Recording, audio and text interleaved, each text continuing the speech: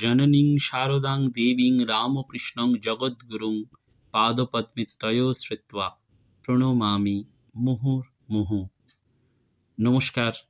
সৎকথায় প্রতিদিনের প্রার্থনার ধারাবাহিক অনুধ্যানের শুরুতে শ্রী শ্রী ঠাকুর, শ্রী শ্রী মা এবং স্বামীজি মহারাজের চরণে প্রণাম নিবেদন করি। আজ একটি বিশেষ দিন এবং সেই বিশেষ দিনটি হচ্ছে মাঘী পূর্ণিমা। সেই মাঘী পূর্ণিমার পূর্ণ লগ্নে আপনাদের সকলকে প্রণাম জানিয়ে, প্রণাম জানাই শ্রী রামকৃষ্ণ পার্ষদ অদ্ভুতানন্দ, অদ্ভুতানন্দজি, অর্থাৎ লাটু মহারাজের শ্রীচরণে।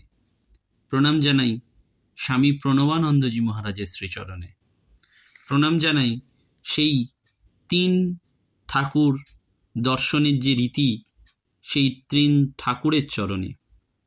প্রণাম জানাই কলিদেবের চরণে এবং প্রণাম জানাই নবগোপাল ঘোষ এবং নিস্তারিণী দেবীর চরণে।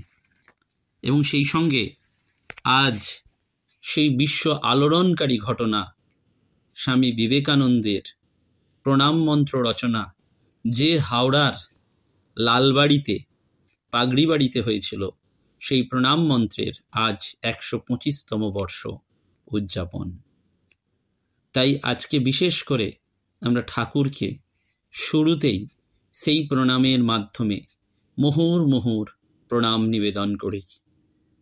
ওং স্থাপকায় চ ধর্মস্য সর্বধর্মস্বরূপিণে অবতার বরিষ্ঠায় রামকৃষ্ণায় তে নম আমরা আজকে স্মরণ করি লাটু মহারাজের শ্রীচরণে।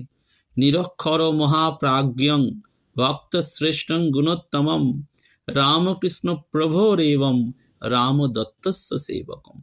রামচন্দ্র দত্তের সেই সেবক, যিনি শ্রী রামকৃষ্ণ দেবের মিরাকেল তাই বলা হচ্ছে, লাটু মহারাজ হচ্ছেন শ্রী রামকৃষ্ণের মিরাকেল অলৌকিক কাণ্ড, এক অপূর্ব সৃষ্টি। তাই আজকের এই দিনটির তাৎপর্য আমরা সকলেই অনুধাবন করলাম যে কলিকালের উৎপত্তি কৃত্তিকা নক্ষত্রে কৃষ্ণ মারা যাওয়ার পর যখন কলি এবং দাপরের মাঝে একটা বর্ডার ছিল, সেই মাঘ মাস, শুক্লপক্ষ এবং পূর্ণিমা তিথি সেইটিতে আজকের এই কলিকালের উৎপত্তি হয়েছে। আমরা জানি যে মহাজাগরণের মন্ত্র, যে মহা সমন্বয়ের মন্ত্র, যে মহাসত্যের মন্ত্র উদ্ঘোষিত হয়েছিল, সেই শিবাবতার স্বামী প্রণবানন্দজি মহারাজের জীবনে, জীবন ধর্মে তার আজকে পূর্ণ আবির্ভাব তিথি। আমরা জানি আজকে সেই বিহারের ছাপড়া জেলায় লাটু মহারাজের আজ পূর্ণ আবির্ভাব তিথি। আজকেই তিন ঠাকুরের দর্শন করার রীতি রয়েছে ভক্তজন মহলে। কোন তিন ঠাকুর? না শ্রীরামপুরের রাধাবল্লভী বল্লভজি। শ্রীরামপুরের রাধাবল্লভ মন্দির খড়দায়ের শ্যামসুন্দর মন্দির আর সাইবোনায় নন্দদুলালের মন্দির। এই তিন ঠাকুরকে দর্শনের রীতি হচ্ছে এই মাঘী পূর্ণিমায়। এবং মনে রাখতে হয় যে বারাসাতের সাইবন, সাইবনটি হচ্ছে বারাসাতে, সেই বারাসাতের সাইবন, খর্দায়ের শ্যামসুন্দর আর শ্রীরামপুরের যে রাধাবল্লভজি, সেই রাধাবল্লভজি নিত্যানন্দের ছেলে একই পাথরের তৈরি করে দিয়েছিলেন। অর্থাৎ শ্যাম যে পাথরে তৈরি, এই বাকি দুই দেবতাও সেই একই পাথরে তৈরি। এবং উল্টো দিক থেকে আমরা মনে রাখতে পারি যে বরানগরে, দক্ষিণেশ্বরে যেমন ভবতারিণী মা রয়েছেন, তেমনি কৃপাময়ী মা রয়েছেন, যিনি বরানগরের জয়নারায়ণ মিত্তিরের কালীবাড়িতে রয়েছেন, জয়নারায়ণ জয়নারায়ণ মিত্তিরের বাড়িতে রয়েছেন, সেই ব্রহ্মময়ী মা আর কৃপাময়ী মা। এই আবির্ভাব তিথিটিও কিন্তু সেই বরানগরের যে ভবতারিণী মা, যে যে ভবতারিণী মাকে সেই নবীন ভাস্কর দক্ষিণেশ্বরে করেছিলেন, সেটা তো আমরা জানি স্নানযাত্রা, কিন্তু এই বরানগরে নদী পেরিয়ে আবির্ভাব হয়েছিল। সেই জন্য এই আজকের দিনটি একটি অত্যন্ত তাৎপর্যপূর্ণ ঘটনা। আমরা আজকের দিনটিকে তাই স্মরণ করতে পারি এক বিশেষ দিন হিসাবে। আঠেরোশো বিরাশি বা তিরাশি খ্রিস্টাব্দে পরমহংস দেব যখন রামদাদার বাড়িতে আসেন, তখন অল্প সংখ্যক লোক তাকে শ্রদ্ধা ভক্তি করতেন। শিক্ষিত শিক্ষিত ভদ্রলোকেরা অনেকেই করতেন, কিন্তু সবাই যে বেশি করতেন তা নয়। কিন্তু এই রামদাদার বাড়িতেই সেই অল্প বয়স্ক এক যুবক চাকর ছিল। ছাপড়া জেলায় তার বংশ, ঈষৎ খর্বাকৃতি, পুষ্ট দেহ, হিন্দুস্থানি ভৃত্যটির নাম ছিল লাটু।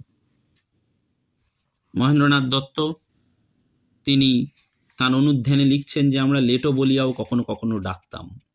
লাটু সাধারণ বৃত্তের নেই, গৃহের কাজকর্ম করত। বাল্যকালে লাটু মহারাজের নাম ছিল রাক্তুরাম এবং সামান্য যেটা মাইনে পেত, সেইটা জমিয়েই মাথায় একটা বড় পাগড়ি কিনত। কখনো কখনো পাগড়িটা রং করে নিত। মানে নিতেন তিনি।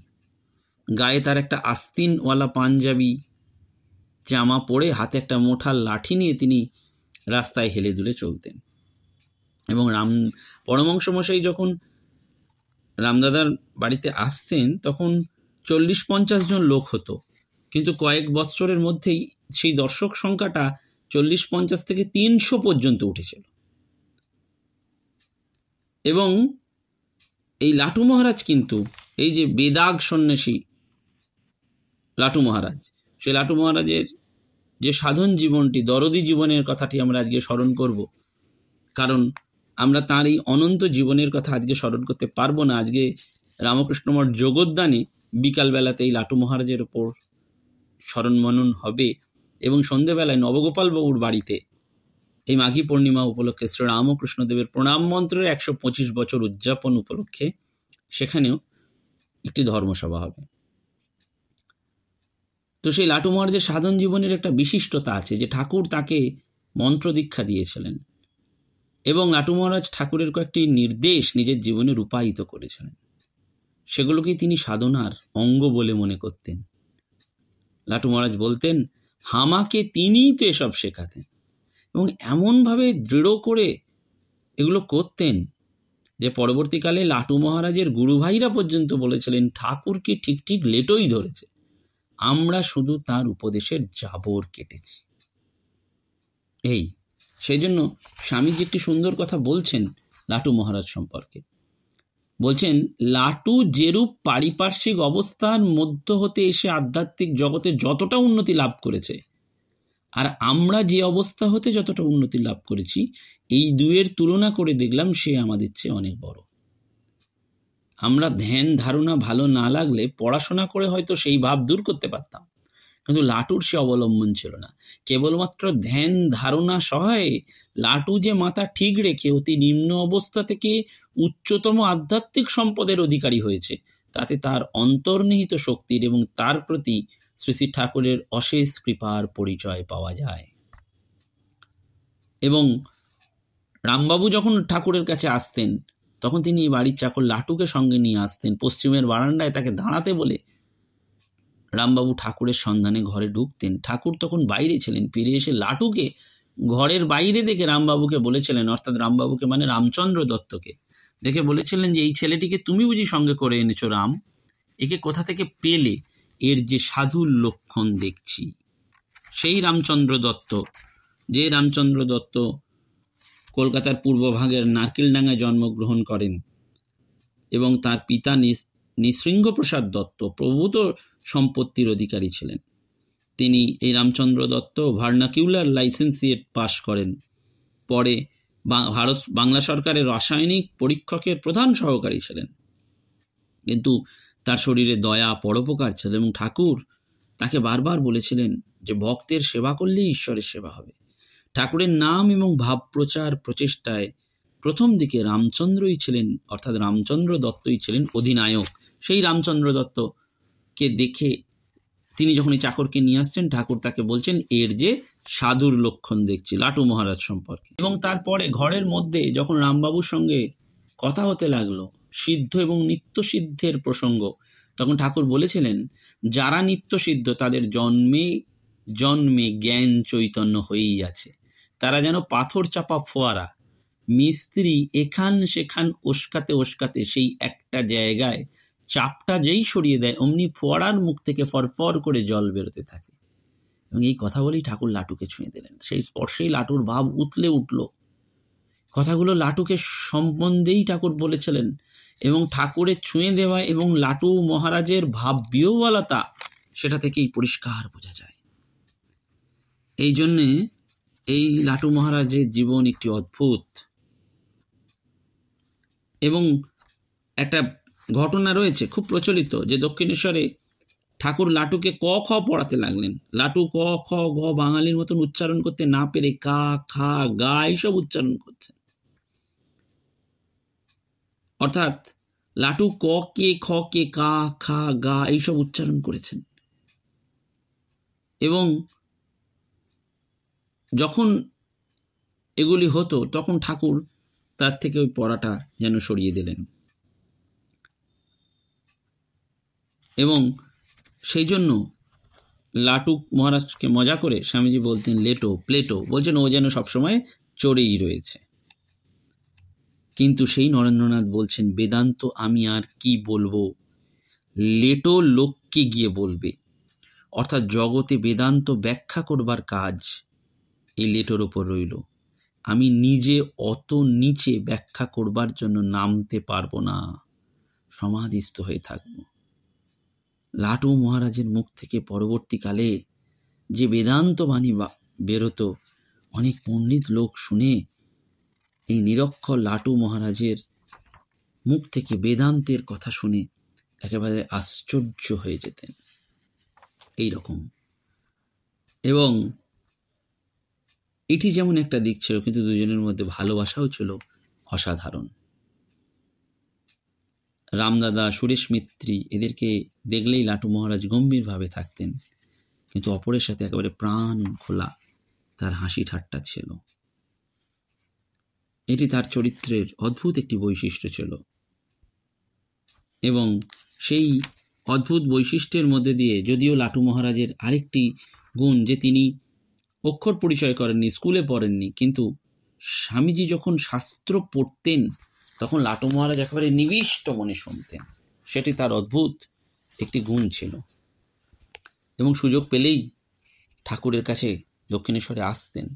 ঠাকুর কামারপুকুরেও চলে গেলে তাঁর স্থির বিশ্বাস ছিল যে তিনি দক্ষিণেশ্বরে নিত্য অবস্থান করেন। প্রাণের টানে তিনি একদিন ঠাকুরকে বলেই ফেলেছিলেন হামনে আপনার ইখানকে থাকবে, আর নকরি করবে না, আপনার কাজ হামনি করবে। ঠাকুরও শেষে লাটুকে নিজের কাছে রাখার জন্য রামবাবুর কাছ থেকে চেয়ে নিলেন। কাছে রেখেই তিনি তার শিক্ষার উদ্যোগ নেন। এবং ভারতবর্ষের মতন দেশে অধিকাংশ গ্রামীণ মানুষই হয়তো নিরক্ষর, কিন্তু তারা সরল এবং বিশ্বাসী। লাটু মহারাজকে উপলক্ষ করে ঠাকুর আমাদের সাথে তাই প্রকৃত শিক্ষার নমুনাটি যেন তুলে ধরলেন। এবং প্রকৃত শিক্ষার যে উদ্দেশ্য সফল হয় না, সেটাও তিনি চোখের সামনে আঙুল দিয়ে যেন দেখিয়ে দিলেন। পরে বলতেন লাটু মহারাজ যে ঠাকুর হামায় কত শিখাতেন, কত বুঝাতেন, তার শিক্ষার চারটি মূল সূত্র ছিল প্রথমত জাগে যোগে জেগে থাকবে, অর্থাৎ সদা সর্বদা ঈশ্বরের দিকে মন ফেলে রাখতে হবে। ঘুমের কালে তাকে ডাকবি। ঘুমের কালে মানে রাত্রে, নির্জনে। এটি তিনি সারা জীবন যাপন করেছেন। শরৎ মহারাজ বরানগর মঠে উপস্থিত। মহেন্দ্রনাথ দত্ত অর্থাৎ মহিমবাবুকে বলছেন, দেখো হে, লেটোশালা সবচেয়ে উঁচিয়ে যাচ্ছে আর আমরা সব পেছনে পড়ে রইলুম। আমরা কলেজে পড়া ছেলে পেছনে পড়ে রইলুম আর ও কোথায় রামবাবুর চাকর ছিল দুদিন এসে সালা আমাদের চাইতে এগিয়ে যাচ্ছে। আমরা রাত্রিকটা ঘুমিয়ে কাটাই, আর ও সালা সমস্ত রাত্রিকটা জপ করে। এই। এবং এই যে ঘুমের কালেও তাকে ডাকবি। রাত জাগে যোগী, রোগী আর ভোগী। রাতে সবাই জাগে। যে ভোগী সেও জাগে, যে রোগী সেও জাগে। আর যে যোগী, সেই সেই জন্য। এবং প্রথম দিকে রাত্রে লাটু মহারাজ নাক ডাকিয়ে ভালো করে ঘুমিয়ে পড়তেন, কিন্তু জপের মালাটা লুকিয়ে রেখে দিতেন। সকলে যেই ঘুমিয়ে পড়তো, সঙ্গে সঙ্গে লাটু মহারাজ উঠে কিন্তু জপ করতে শুরু করে দিতেন। তৃতীয়ত ঠাকুরের শিক্ষা ছিল, কাজের মাঝে তাকে ধরবি। অর্থাৎ কোনো কাজে নিজের অহংকারকে বাড়তে না দেওয়া। তাকে স্মরণ করা আর কাজ করা। গীতায় বলা হয়েছে না মামনুস্মার যুদ্ধ চ। অর্থাৎ যুদ্ধ তো করতে হবে জীবন যুদ্ধ। তাই যুদ্ধ করতে হবে, কিন্তু মামনুস্মারো মাঝে মধ্যেই সেই কাজের মাঝে মাঝে তাকে স্মরণ করতে হবে। আর সর্বশেষ, হরদম তার সেবায় লাগবে। অর্থাৎ বৃথা কাজে বা আলস্যে সময় অতিবাহিত করবে না। তার প্রীতির কাজে সর্বতা নিয়োজিত থাকতে হবে। স্বামী প্রেমেশানন্দজি মহারাজ তাই ঠাকুর এবং তার পার্শ্বদের বন্দনা গানে সুন্দর করে লাটু মহারাজের বাবলি নিয়ে লিখছেন, সেবা পর যোগী বড় অদ্ভুত আনন্দ। এটি প্রেমেশানন্দজির গান। সেই জন্য গিরিশবাবুর ভাই অতুলবাবুও বলতেন, ঠাকুরের মিরাকেল যদি দেখতে চাও তো লাটু মহারাজকে দেখো। দক্ষিণেশ্বরে লাটু মহারাজ সারা রাত ধ্যান জপে বিভোর হয়ে থাকতেন। সুযোগ পেলে দিনের বেলাতেও তিনি ধ্যানে বসে যেতেন। ঠাকুর একদিন তাই ভক্তদের বলছেন, লাটু চড়েই আছে, ক্রমে লীন হওয়ার জোগাড়। ছাপড়া জেলার সেই গণ্ডগ্রাম থেকে কাকা তাকে নিয়ে এসেছিলেন, কিন্তু সেই মানুষটি একেবারে বদলে গেলেন। শ্রীরামকৃষ্ণ ঘটিয়ে দিলেন, সেই পূর্বের লাটুর সংস্কারকে পরিবর্তন করে যেন নতুন প্রাণ, নতুন জীবন, নতুন লোক নতুন সাধক হিসাবে তিনি রূপান্তরিত হলেন। এবং ঠাকুর ছিলেন তার জীবনের ধ্রুবতারা। কোনো একদিন কাজে ঠাকুর তাকে তিরস্কার করেছেন। তখন লাটু মহারাজ কাঁদো কাঁদো হয়ে বলছেন, আপনাকে ছাড়া আমার জীবন বিলকুল নষ্ট হয়ে যাবে। আপনি আমায় এমন করে দিন যাতে চিরকাল আপনার সঙ্গে থাকতে পারি। এই সব অদ্ভুত ঘটনা তার জীবনে রয়েছে। বলরাম মন্দির থেকে শ্রী মা একবার জয়রামবাটি যাচ্ছেন। সবাই একে একে প্রণাম করছেন। কিন্তু লাটু মহারাজ এলেন না। নিজের ঘরে প্রায়চারি করতে করতে বলছেন, সন্ন্যাসী কো পিতা কো মাতা, সন্ন্যাসী নির্মায়া। শ্রী মা তার দোরগোড়া এসে যেই বলছেন, বাবা লাটু, তোমার আমাকে মেনে কাজ নেই বাবা। অমনি লাটু মহারাজ তরাক করে এক লাফে মায়ের চরণে লুটিয়ে পড়লেন, ফুঁপিয়ে ফুঁপিয়ে কেঁদে উঠলেন। তা দেখে মায়ের চোখে জল। তখন লাটু মহারাজ নিজের উত্তরই দিয়ে মায়ের চোখে জল মোছাতে মোছাতে বলছেন, বাপ ঘরে যাচ্ছ মা, কাঁদতে কি আছে? সরট তোমায় শিগগির এখানে নিয়ে আসবে, কেঁদো না মা, যাবার সময় কি চোখের জল ফেলতে আছে? এই ছিল তার অদ্ভুত জীবনের কথা। সেই জন্য বারবার বলছেন, নাম করবার আগে নামকে প্রণাম জানিও গো। বারবার বলছেন, দেখো, কোনো কিছুতে আশা রেখে চলবি নি, সব তার হাতে ছেড়ে দিবি।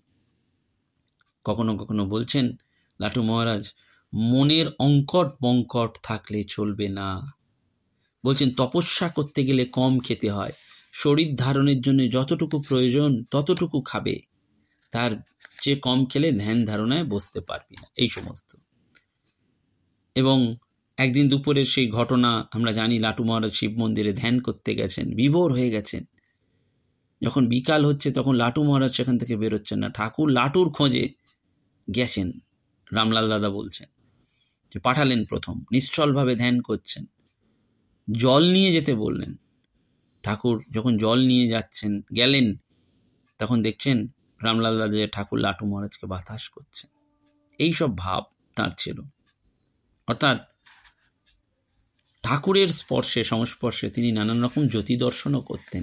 এরকম অজস্র ঘটনা রয়েছে। আমরা সে ঘটনা আর একদিন লাটু মহারাজের জীবন সম্পর্কে অনুধ্যান করব, কারণ আজকে আমাদের একটু নবগোপাল বাবুর কথাও স্মরণ মনন করতে হবে। এই লাটু মহারাজের মনটি ছিল একেবারে দরদি।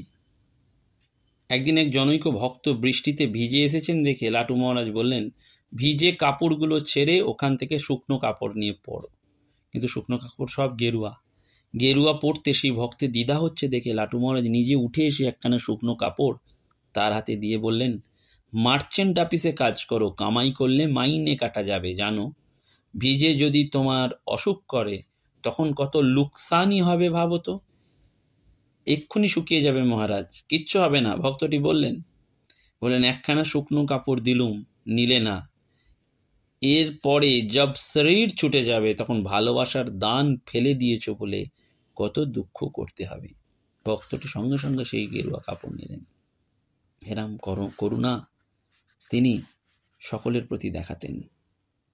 উনিশশো আট সালের জানুয়ারি মাস, এক অবিবাহিত ভক্তের হঠাৎ পতনের সংবাদ শুনে লাটু মহারাজ তাকে ডেকে পাঠালেন। এবং সে লাটু মহারাজের কাছে এসে তখন বলতে লাগলেন, জীবনে দু যখন এসে বসলেন, তখন লাটু মহারাজ বলছেন, যে জীবনে দু একটা ভুল করেছ বলে মন মরা হয়ে বসে থাকতে নেই। ভুল তো সবাই করে। তাকে ডাকো। তিনি তোমায় শক্তি দেবেন, তোমার মোহ ভেঙে যাবে। তিনি যে দয়াময়, যতই পাপ করো না কেন, তাঁর দয়া তুমি পাবে। তুমি আর কতটুকু পাপ করেছ, এর জন্যই এত মুসড়ে পড়েছ? বিবেকানন্দ ভাই, কি বলতো জানো? ভারী তো এক দোয়াত কালি ছিটে লেগেছে। অমন হাজার দোয়াত কালি তাঁর দয়ার সাগরে স্নান করলেই ধুয়ে মুছে যাবে। এবং বারবার তিনি বলছেন জোরসে সাধন ভজনে লাগ সাধু সঙ্গ কর। আর মাঝে মাঝে একটু আধটু এখানে যাওয়া আসা রেখো। এই রকম তার দরদি মনটি ছিল।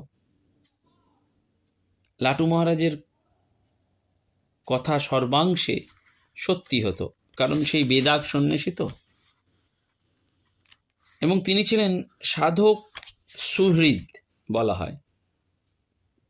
সেই জন্য তিনি বারবার বলতেন, ত্যাগী মানুষদের জীবন দেখে নিজের নিজের জীবন পথে ঠিক হয়ে চলতে শিখতে হবে। আদর্শ ছেড়ে দিলেই ঠক্কর খেয়ে গিয়ে পড়বে। কোনো কোনো সাধুকে তিনি বলেছিলেন, হইচই তো অনেক করলে, এখন দিন কতক সাধন কর, সাধন ভজন করো দেখি। কাশিতে কোনো আশ্রমে দুই বেলা খাওয়ার ব্যবস্থা হয়ে যাবে। আমি টাকা দেব, তুমি দুধ খাবে। এই রকম সমস্ত তার ছিলেন কথাবার্তা তার ছিল, তার উপদেশ ছিল। তিনি মুক্ত বিহঙ্গের মতন থাকতেন এবং লাটু মহারাজ বারবার বলতেন যে, রামবাবু, তার জন্য যথা সর্বস্ব দিলেন। রামদত্তের দরুন পরমহংসদেবের উৎসব হলো। রামদত্ত বলতেন, তিনি যা বলেছেন সব ঠিক, তার ওপর কোনো কথা নেই। সত্যবাদী, কোনো কথা, কোনো নেশা ছিল না। মনিব খুব জানত, এমন দুর্লভ লোক। এবং রামবাবুকে ঠাকুর বলতেন, রাম, এ সংসার তোমার নয়, আমার। আর বলতেন, রাম, আমার আবদারে ছেলে, হুজুগে নয়। ভগবানের জন্য ঠিক ঠিক প্রাণ কাঁদে। ভগবান চাই সুখ পাই, দুঃখ পাই রামবাবুর এই ছিল ভাব। সেজন্যই লাটু মহারাজের কথা আমরা বলে শেষ করতে পারি না। তার সাধন জীবন, তার তপস্যার জীবন এবং সেই লাটু মহারাজের জীবনের অদ্ভুত ঘটনা রয়েছে। যখন উনিশশো কুড়ি সালের এপ্রিল মাসে তিনি কাশিতে রয়েছেন, জ্বর এসেছে, চিকিৎসার ব্যবস্থা করা হলেও তিনি ওষুধ খাচ্ছেন না। চার দিন পর তার দেহে অস্ত্রোপচার করা হয়েছিল। চব্বিশে এপ্রিল, দশই বৈশাখ, বেলা বারোটা দশ, লাটু মহারাজ পার্থিব দেহ ত্যাগ করেন। সেই খবর শুনে কাশীর সেবাশ্রম এবং অদ্বৈত আশ্রম থেকে সাধুরা ছুটে এসেছিলেন। তিন ঘণ্টা ধরে নাম গান হয়েছিল। কোনো সাধু এই কথা বলেছিলেন, ইনি আর ঠাকুরের সঙ্গে আসবেন না। কাশিতে দেহ রক্ষা করে নির্বাণ নিলেন। সঙ্গে সঙ্গে হরি মহারাজ বললেন, তা নয়, ওদের কথা আলাদা। স্বামী জগদানন্দজি বিখ্যাত বেদান্তি সাধু সেখানে ছিলেন। তিনিও এই কথাটি শুনেছিলেন এবং পরে ব্রহ্মচারী অক্ষয় চৈতন্য মহারাজকে সেটি বলেছিলেন এবং লাটু মহারাজ নিজেও বহুবার বলেছিলেন, এই তো বাসনা, যেন জন্মে জন্মে ঠাকুরের মতন গুরুদেব আর বিবেকানন্দের মতন গুরু ভাই পাই। প্রকট লীলা শেষ হওয়ার আগে ঠাকুর একদিন শ্রীশ্রী মাকে একটি কথা বলেছিলেন, ইচ্ছে হচ্ছে তোমার সঙ্গে আর কেউ থাকবে না, কেবল লাটু। রঞ্জিত রায়ের দিঘিতে গিয়ে মায়ের ভোগ দিই। ভাবতে আমাদের সত্যি আজকে সকালবেলায় ভালো লাগে। যে ঠাকুর মা, তাদের চিরন্তন সেবক, লাটু মহারাজকেই চেয়েছিলেন তাদের কাছে। যেমন লাটু মহারাজ দক্ষিণেশ্বরে ছিলেন, সেবা করেছেন, কাশীপুরে ছিলেন, তেমনি প্রকট রিলার পরও ঠাকুর বলছেন, কেউ থাকবে না, শুধু লাটু থাকবে এবং রঞ্জিত রায়ের দিঘিতে তিনি ভোগ দেবেন। এই দিনটি যেমন এদিক থেকে তাৎপর্যপূর্ণ, তেমনি আজকের এই দিনটি সেই ভগবান শ্রীরামকৃষ্ণদেবের প্রণাম মন্ত্রটি রচনা করেছিলেন স্বয়ং বিবেকানন্দ। আমরা জানি নবগোপাল ঘোষ, ঠাকুরের অন্যতম গৃহী পার্ষদ যিনি হাওড়ার রামকৃষ্ণপুরে ঠাকুরের নাম, অর্থাৎ গুরুর নাম রামকৃষ্ণ বলেই হাওড়ার রামকৃষ্ণপুরে তিনি বাড়িতে, বাড়ি করেছিলেন। এবং এই নবগোপালবাবু সর্বদা জয় রামকৃষ্ণ জয় রামকৃষ্ণ নাম করতেন। ওই নামেই ডুবে থাকতেন। পাড়ার ছেলেদের উনি জয়রামকৃষ্ণ শেখাতেন, ওনাদের বাতাসা দিতেন। পাড়ার ছেলেরা ওনাকে দেখলেই বলতো, জয় রামকৃষ্ণ আসছে। নবগোপালবাবুর হাওড়ার বাড়ি, যেটি এখন লালবাড়ি হিসাবে পরিচিত। দোতলার ঘরে শ্বেত পাথরের সুন্দর একটা মন্দির নির্মাণ করেছিলেন ঠাকুরের প্রতিকৃতি বসানোর জন্য। এবং নবগোপালবাবুর আহ্বানে নিস্তারিণী দেবীর ইচ্ছায় স্বামীজিকে আসতে হয়েছিল। এবং স্বামীজি অন্যান্য সন্ন্যাসী এবং ব্রহ্মচারী বৃন্দের সঙ্গে ঠাকুরের পোর্সিলিনের প্রতিকৃতি, যেটি তিনি বিদেশ থেকে এনেছিলেন, যে পাঁচটি পোর্সেলিন অফ চীনা ক্লে প্রতিকৃতি মাথায় নিয়ে রামকৃষ্ণপুর ঘাট থেকে নবগোপালবাবুর বাড়িতে আসেন মাঘী পূর্ণিমার দিন, ছয়ই ফেব্রুয়ারি আঠারোশো আটানব্বই। কালের হিসাবে ঠিক একশো পঁচিশ বছর। এবং সেখানে গোটা পথটি যখন এই ঘাট থেকে নবগোপালবাবুর বাড়িতে আসেন, তখন খোল বাজিয়ে বাজিয়ে গিয়েছিলেন কেরে ওরে দিগম্বর, এসেছে কুটির ঘরে। এরপর থেকে প্রতি বছর এই পুণ্যদিনে উৎসব হয়। আজও সেটি হচ্ছে এবং আজও হচ্ছে মানে সকাল আটটা থেকে রাত্রি আটটা পর্যন্ত সেই পাগড়ি, স্বামীজির যে পাগড়ি, সেটিকে স্পর্শ করা যাবে। কারণ এদিন আসার পর স্বামীজি যখন যাত্রা শেষ করে এখানে এসেছিলেন, পুজোর ঘরে বসে ঠাকুরের ওই পোর্সেলিনের প্রতিকৃতিটি মাথায় নিয়ে এসে বসিয়ে প্রণাম পুজো করে প্রণাম মন্ত্রটি মুখে মুখে রচনা করেছিলেন, যে প্রণাম মন্ত্রের আজ একশো পঁচিশ বছর এবং সেইটি বিশ্বে, সারা বিশ্বে ঠাকুরের প্রণাম মন্ত্র হিসাবে উচ্চারিত হয়। এবং স্থাপকায় চ ধর্মস্ব সর্বধর্মস্বরূপিণে অবতার বরিষ্ঠায় রামকৃষ্ণায় তে নম। স্বামীজি ঠাকুরকে পুজোর ঘরে প্রতিষ্ঠা করে বলেছিলেন আত্মারাম বসো।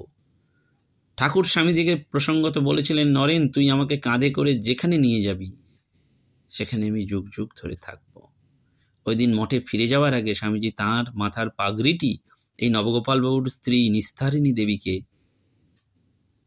উপহার হিসাবে দিয়ে যান। সেইটি আজও এই বাড়িতে রয়েছে। প্রতি বছর মাঘী পূর্ণিমার, অর্থাৎ আজকের দিনে, এই যে বিশেষ দিন, সেই দিনটিতে ওই পাগড়ি ভক্তদের কাছে প্রদর্শন করানো হয়। এবং হাওড়ার অন্যতম তীর্থস্থান এই গৃহী পার্ষদ নবগোপাল বাবুর বাড়ি। আমরা ধন্য, আমরা কৃতার্থ। হাওড়াবাসী হিসাবে ঠাকুরের প্রণাম মন্ত্র রচনা হয়েছে, যে ঠাকুর বিশ্ববন্দিত অবতার বরিষ্ঠ, তাহার প্রণাম মন্ত্র রচনা হয়েছে এবং সেই প্রণাম মন্ত্রের আজ একশো পঁচিশ বছর।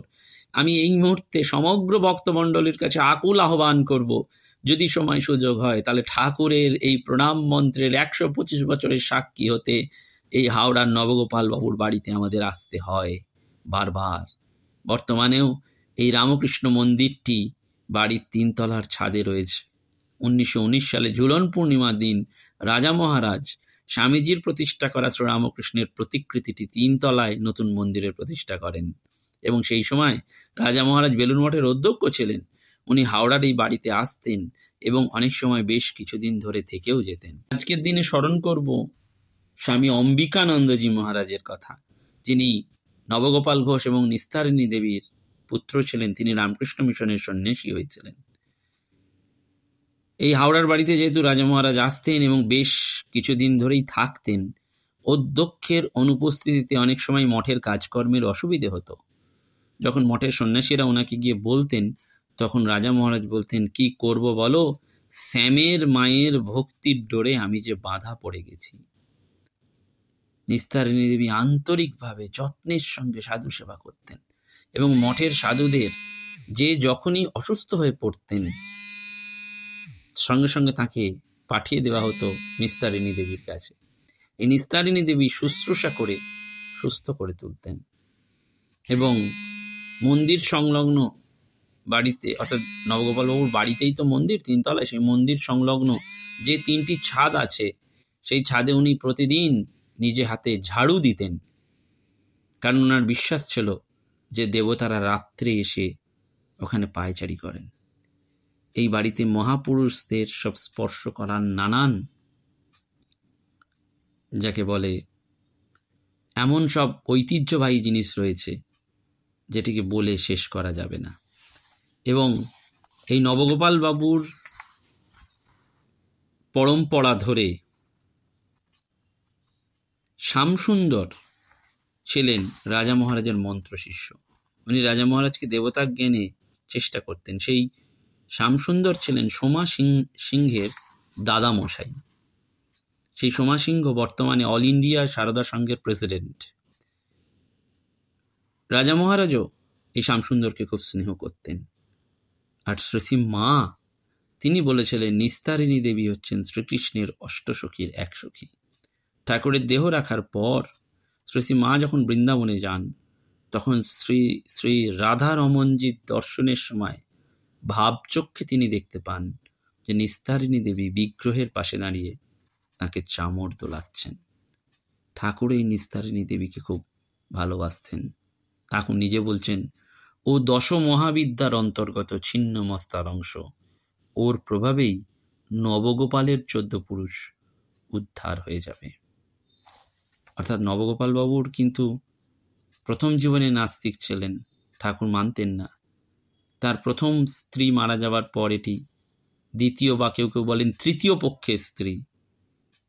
অত্যন্ত ভক্তিমতী মহিলা। তার প্রভাবেই সেটি। সেজন্য এই নবগোপাল ঘোষ এবং নিস্তারিণী দেবী তাদের পরম্পরা অনুযায়ী, এই সোমা সিং সিংহ যার কথা বললাম তার মায়ের ঠাকুরদাদা এবং ঠাকুরমা হচ্ছেন এই নবগোপাল ঘোষ আর নিস্তারিণী দেবী। এই সোমা সিংহের মা ইলা বসু ওনার ঠাকুরদাকে জীবিত অবস্থায় দেখতে পাননি কারণ তার আগেই উনি পৃথিবী ছেড়ে চলে গিয়েছিলেন। কিন্তু শুনেছেন, এই হাওড়ায় একাশি নম্বর রামকৃষ্ণপুর লেনে নবগোপাল বাবু যে বাড়িটি ক্রয় করেছিলেন। সেই বাড়িতেই রচনা হয়েছে রামকৃষ্ণ প্রণাম মন্ত্র। আর সেই গৃহী পার্শ্বদের মুখে অনবরত উচ্চারিত হয়েছে, জয় রামকৃষ্ণ জয় রামকৃষ্ণ। আজকের এই মাঘী পূর্ণিমার পুণ্য লগ্নে আমরা তাই একটি মন্ত্রেই উদ্ধার হব, জয় রামকৃষ্ণ জয় রামকৃষ্ণ জয় রামকৃষ্ণ। সেই জন্য আমাদের এই সংসারী মানুষকে এগিয়ে যেতে হবে ভগবানের নেশায়। লাটু মহারাজ যে নেশার কথা বারবার বলছেন শ্রীম যেটি বারবার বলেছেন, ঠাকুরকে ঠিক ঠিক লেটোই ধরেছে, এইটি আমাদের বারবার মনে রাখতে হবে। আর ওই যে বারবার বলছেন যে লেটো প্লেটোর মতন কথা বলছে, অর্থাৎ লাটু মহারাজকে দেখলে বোঝা যায় ঠাকুরের সব ছেলেরা অরিজিনাল। যে অরিজিনাল নয়, সে ঠাকুরের ছেলে নয়। স্বামীজি বলতেন এটি। আমরা সেই লাটু মহারাজ, যিনি একেবারে খাঁটি সোনার মতন, বেদাগ সাধু, সেই গীতোক্ত সাধু লাটু মহারাজ, অদ্ভুত সন্ন্যাসী হলেও তিনি আমাদের কাছে শ্রীরামকৃষ্ণ ভাবে চিরস্মরণীয়, চিরবরণীয়। নমস্কার, ধন্যবাদ। प्राणाराम प्राणाराम प्राणा